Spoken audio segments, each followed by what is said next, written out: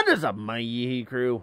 I am Kirk Yeehee, and this is Rocket League, where today we are playing casual, because if you watch the last part, which apparently is part 22, I don't know if it'll bother numbering them, but, you know. I can't go into competitive. I'm too close, I'm one match apart from my cousin in these. Can't go into Rumble because I'm one match apart from my cousin. Um, I hate that, and it can die. So that leaves us with casual hoops or otherwise. So today we are going to focus on 3v3 casual, which 3v3 standard game, my favorite game mode. But I, I like to play the competitive stuff, which I don't get to all that often. I'm on a huge losing streak in casual is the problem. So I've been playing more drop shot and stuff like that. Which, funny enough, playing against gold and platinums, uh, well, if you watch the last video, you've got a prime example of it. Got some smurfs and some hoops last match. Get a lot of that. I hope. Okay, I'll have to go up and get that. I figured my guy would come out of the corner for it. I missed that, though. I'll roll around. That... Lascotti, go for it! That was yours, dude! Hutton didn't have to come out of the net for it. Oh, okay, still went in. Still went in. We got lucky as old beans. I can't take the nice shot. This was not a nice shot. That was luck. I got a really bad hit on that. Man, yes, it went in. So, face-offs. I've got a gripe with Sunless Khan when it comes to face-offs. He's in the... He never used to be. But he's in the park of... I don't know what happened. That looked like a trader, though. Let me see if I'm right on that. I saw an orange trail. I'm almost certain. Yeah, I did. So, he's in the camp of... You absolutely have to flip doing a face-off. This is not true, ladies and gentlemen. I may be a nobody YouTuber, but still holds true. You do not, I repeat, you do not need to flip doing a face-off. You do not have to be the first one to touch the ball. There's a thing called a defensive face-off. This is what I specialize in, or try to specialize in. And for those of you that don't know what a defensive face-off is, if I get to take one, I will show it off. But more often than not, you can control the ball a lot better with a defensive faceoff than you can get the first touch. You just need to be able to read the ball and the players very well. But a defensive faceoff is when they're going up here at the ball, you go slow and let them get their hit. Or pay attention to their car and see where their hit is going to go. When you see where that hit's going to go, you jump out in front of that ball and it gives you control. You can put it wherever you want. You can drop it behind you if you want to by not touching it or just grazing it. And, oh god, if I would have noticed that was just Chipper over there, the bot. Oh, that was wasted boost on my part. Never go for the ball when it's above you either, like in most cases. Because someone else probably has a better hit than you, and they're already going on it. You going for it, Lascotti? Oh, this is hurting me. It's Chipper, come on. That's not Chipper, though. But yeah. Defensive face-off. In my opinion, that is where it's at. Another thing. This this is something apparently pros are divided on. If you're in net on a face-off, stay in the goddamn net! So, if you're wondering why, that is another goal there there's a popular a lot of people actually that leave the net rush over to the corner for boost and then boost all the way back to the net. You will see a lot and i mean a lot of people get scored on doing this because they can't get turned around in time or they freeze when they see the ball starting to go to the net or are like since they're dealing with up here they're like this, three quarters of the way over here, have to rush back and have no boost to get back, right? So if you have no boost, I don't know why I did that. I was at 100. I, that was stupid of me. I wasn't paying attention. But if you're at uh, halfway over, wasting your boost, boosting over to the boost in the damn boosting corner, you're, you're leaving yourself at a handicap because you're leaving yourself with nothing if something should happen to arise. That was a triple. The guy in the back, the third guy, should not have went up on that. I shouldn't have went up on that after I saw my guy going out on it. But I saw he wasn't going to hit it. That's why I went up on it. Okay, I'll back off. See, he was not in my line of sight, so... Uh, because of that, I went for it. But as soon as I saw him, I did something else no one else ever does. I slowed down let him have the hit. So I could position myself for a rebound if needed, which is exactly what you saw there. It's funny. I, I like I said, I have 3,000 somewhere around 34 3500 hours in this game. No kidding. I legitimately have over 3,000 hours in this game in a span of about 3 years. So hop, so we can't do anything with that. Um in those hours, I have never trained extensively. I don't go into training an hour a day and mess around. I don't do training packs because they legitimately give me a headache. I don't know why, but they will give me a headache. I'm not sure why our guy went up for it, but I hesitated. Nice redirect. Wow. That redirect. Look at that. That's not an easy thing to do. Especially as quickly as he had to respond to that. Wow. Defensive face-off. Oh god, it was a bot. I can't do defensive face-offs against a bot. They are too slow. Bots are, are horrible examples for it. But I guess he wants me to go for it and it messed me up. I didn't read it well. That one was completely on me. That was completely on me. A lot of people, I'm not used to people actually passing because no one passes. Everyone tries to do everything themselves, right? So that legitimately threw me off a little bit. Why, why, why is our guy just casually driving up the wall? So there was a block into a goal. Yep, that just happened. Wasn't my plan. Yeah, I was just looking to block it. The block was not intended to go in. But that's my other... I'm no pro by any means. I feel like I can't stress that enough. But I love to block people's shots or hits. I do it often. So it's something, if I see I could get a hit on the ball, there's times I'll let the other guys have it. So, just, just so I can block it on them, put them out of play. I love doing that. It's really fun. It's it's a hard skill. Oh, he didn't need to touch that. He stole that. he stole that. So, oh god, the bot again. I'm just going to take a normal-ish face off. Yeah, bots are bots are an absolute nightmare for face-offs. They really are. Sorry, bot. I'm not going to let you score, Goose. I don't have a lot of boost, so all I could do was throw it, right? But that's my style anyway. In threes, you don't get too many opportunities that you can dribble the ball up the field. Oh, I never noticed I have a GC on my team. That explains a lot for his, his skill.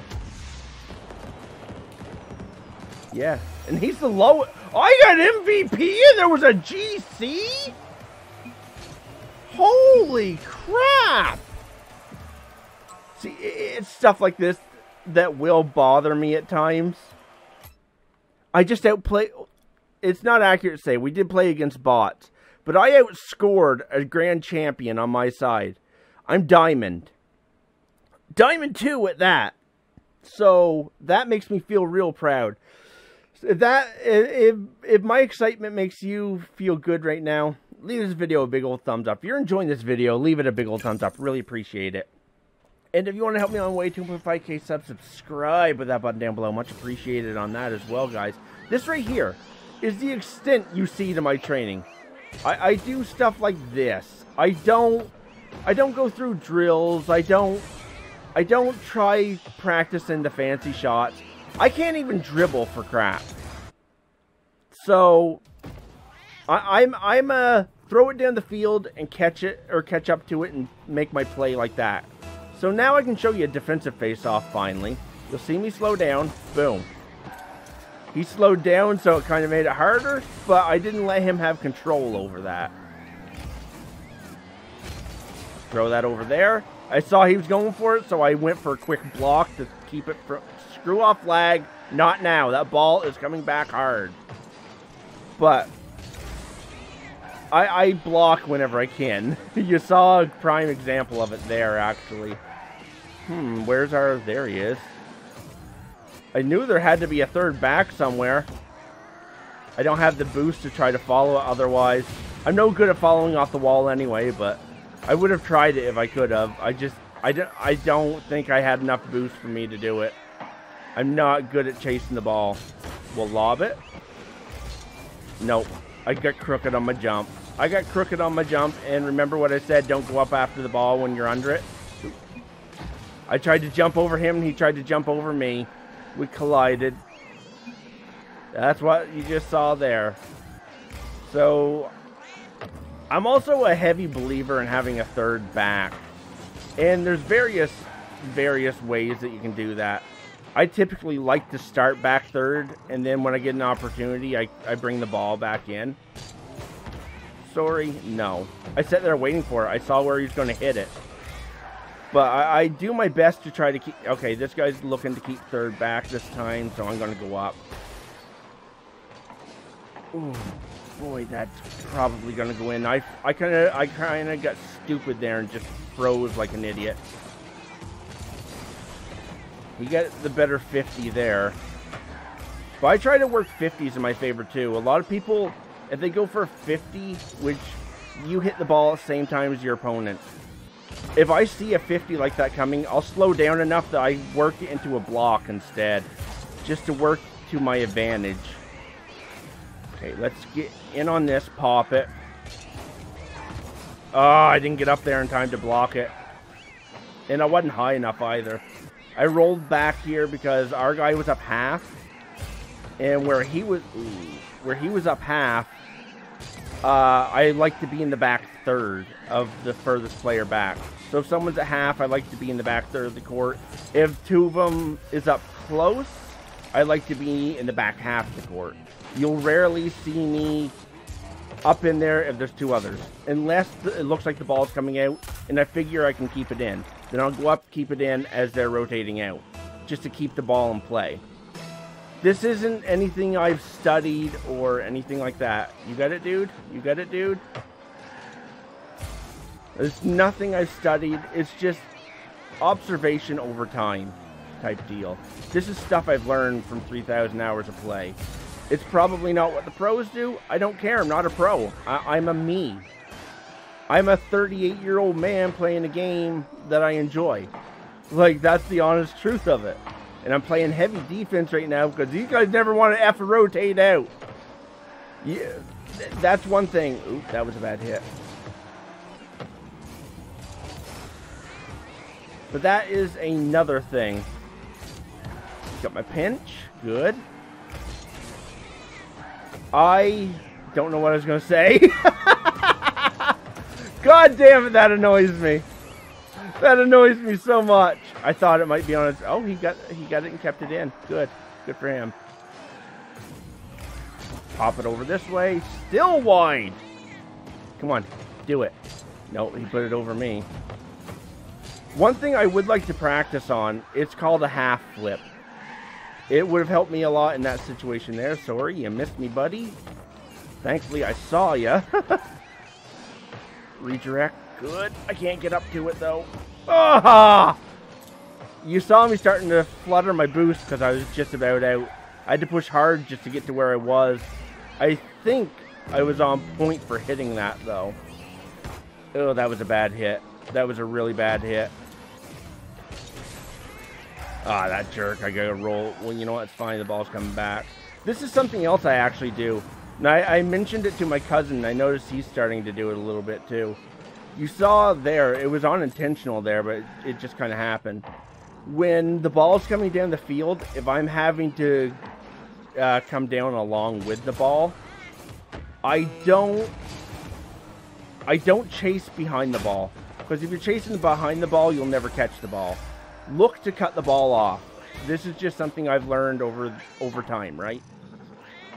If you're looking to cut the ball off, then follow along the outer edges, the, the far side of the of the net. Sugar tits. I tried to take it off the wall right there to throw it over to one of them. But yeah, follow along the opposite side of the net. That way, while the others are chasing, you can be there for the back post of the net in case you need to do a quick save, right? If you're chasing behind it, you're not going to get ahead of that ball to get to the net. But if you're chasing opposite of it, I wish I had my face cam on because I'm literally using my hands to try to show this. Man, I played. That was the other thing I was going to touch on. That's what it was. I forgot. You can tell if someone is stuck playing back far. They'll always have a low score like that. And I can always tell if no one's rotating out, so I can rotate in, because that'll that'll almost always happen. You'll have like sometimes you'll be lucky if you get your 25 points in a match like that. So we're going to play one more casual.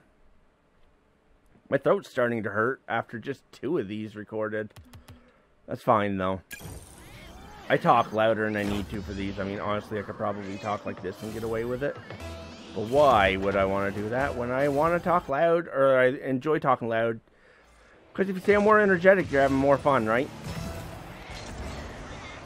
We're getting a partial match. I might... Ugh. Man, that, that bounced me around bad. I might cut this part. Oh my god, this partial match out. Stupid blue guy bounced. In fact, I think I will. So we'll see you if and when I can get the next full match. Once again, blocking. I paid attention to what he was doing. Okay. Well, this isn't good. One guy in this match, 1700, and it's a team. The other two guys are at 1200. They might actually be that low, or they might not play casual as much as the the higher guy. So we could be looking at three champs or above here. Which, if that's the case, which it looks like it might be, at least with this guy, he wouldn't let me get the damn boost. One of them is very aware of his surroundings. Let, let's let's just say that. He's very aware of what's going on. Oh my god, right down into him, and it saved it. Let's pop that off to the side. Give ourselves a little reprieve here. Couldn't get up there for the block. I had to try to take the hit on it before they get a chance. Okay, I'm not going to get 100. Don't like only having 24 for net. We'll go out for this, which that kind of screwed. Kind of a bad thing, though, going out for a ball when you're or when it's over you because you can't see what anyone else on the field is doing. I don't expect to win this one, by the way team matches or matches against teams, very unlikely you're going to win. And this one's looking to be one of those. That ball stayed in our end that whole time. And yeah. Not looking well. I should have this face off. Nope. I said I should have this face off. Don't like having to do that, but left guy takes the face off. So I took the face off. Oh my god, I got hit by him. Take I can't take the shot, you friggin' hit me, you twit! I literally couldn't catch up to my own hit because you hit me and slowed me down.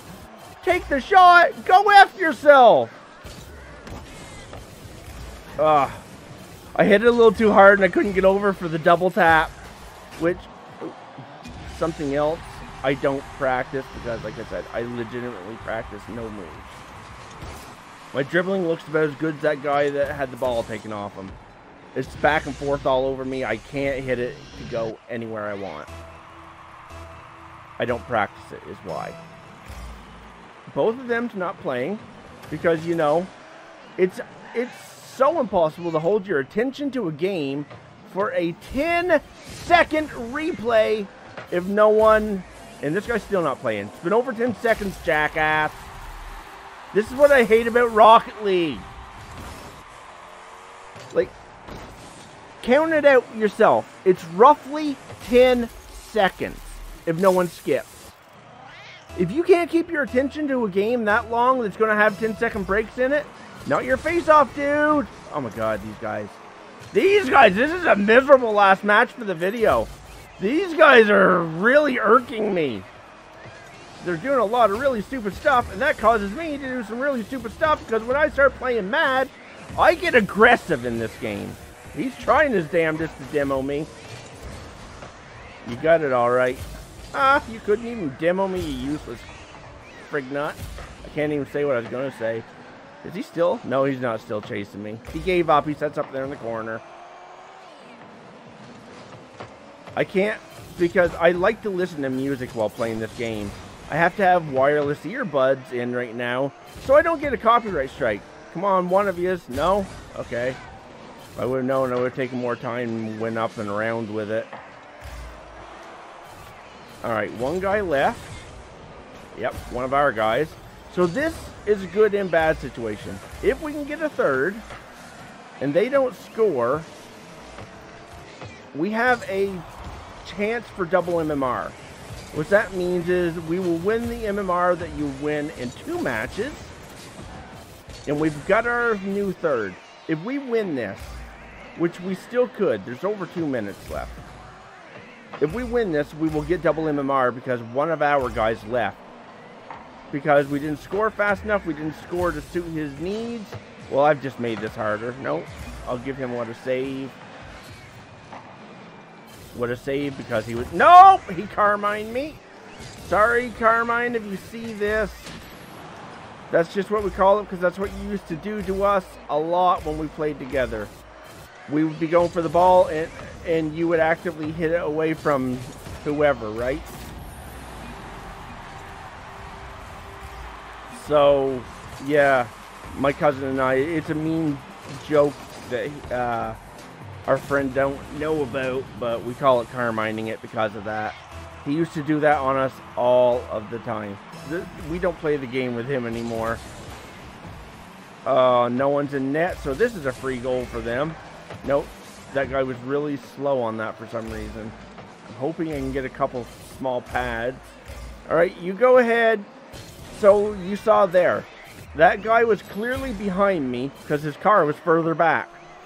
Yeah, I was the one that had to uh, relinquish my control as second up. Because no one else in this game will do that.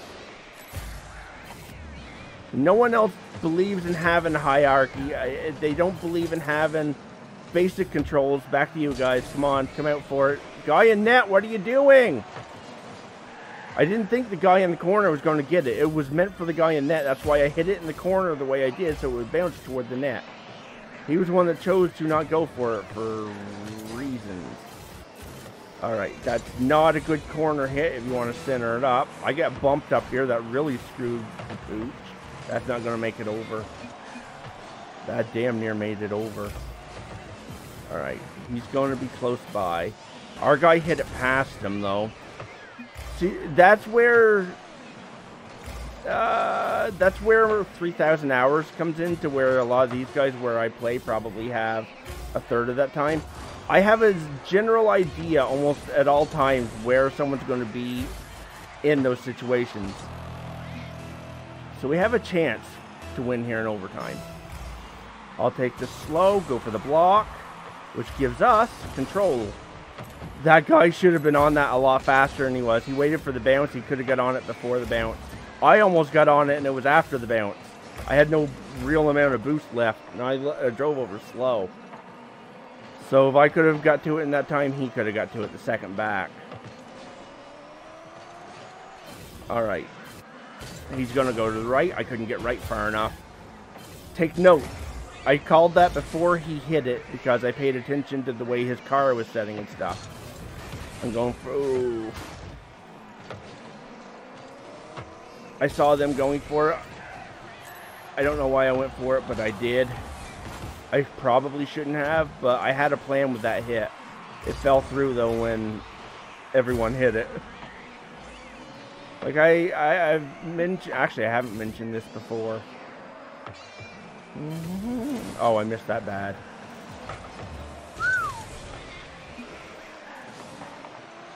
But I try to be extra vigilant, paying attention to where everyone is at all times and what they're doing. And I pride myself on not double committing, but even I make those mistakes at times. Ever vigilant as I can be, trying to pay attention to all that. I still sometimes make the mistake and go up on something. Oh god, he cut me off. I tried to even go further right then I cut our guy off because he must have thought I was going to roll back because I had to roll out for that guy, for our partner. Nope. Oh, good. It didn't go in. I caught in the post. I caught in the post. Thank God I had no boost. I think I had like four. So that demo, very beneficial. He tried to get me again. But that is where paying attention to your surroundings. One of the best basics you can learn that no pro will teach you. Their basics are ball control, how to hit a ball a certain way. The true basics to me are pay attention to your surroundings, try not to double commit, and just play. The rest will come naturally. Boom! Now you will see, once we win, you'll see, I'm guessing, between 16 and 18 MMR for us. They traded, they put it in for me, I will take it. Oh, and I got the MVP, look at that. 17 MMR. They got 30 something. So this is not their first match they bailed on early to not get their MMR. So the double MMR, uh, if you have one or more people leave, someone replaces them, and uh, you win that match, you get double MMR. The downfall is if someone on the winning team leaves and you know someone replaces them and that team wins, they get double MMR. You have a handicap that match and you get punished for it. The system for the MMR casual, I mentioned it before in the last video. It's extremely complicated. I figured out a lot of tricks to it. I can almost call what MMR you're going to get in a match, whether it be double, half, zero, uh, normal, and I can tell you why you're going to be getting that MMR. In ranked, it's as simple as if you win, you get X amount, usually 9 to 11. You'll get 15 if you're unranked, 15 if you're newly ranked, and it drops down as you go or as you lose. So once it gets to five to six losses, you're back to normal MMR. But in casual, it's so much more complicated. So much more complicated. But that's a good spot to end this one. I'm enjoying this. I might end up recording a third one. It is 2.30 at this point in the morning. I am having a lot of fun with this game. I hope you enjoyed this video. If you do, you want to help me on my way 2.5k subs, subscribe that button down below. If you're here, let me know by telling me whether or not you want to see a video made on how MMR works in Rocket League. I I know secrets to the MMR system that I don't really see anywhere else online when I look for them. I don't think people pay attention or understand how casual MMR works. I don't think people understand or uh, even know casual MMR exists. But it does. There's a rank in casual and it determines who you face. The higher it is, the tougher the opponent. So yeah, with that being said, check out these videos off to the side if you haven't already. I would truly appreciate that. And see you guys in the next one.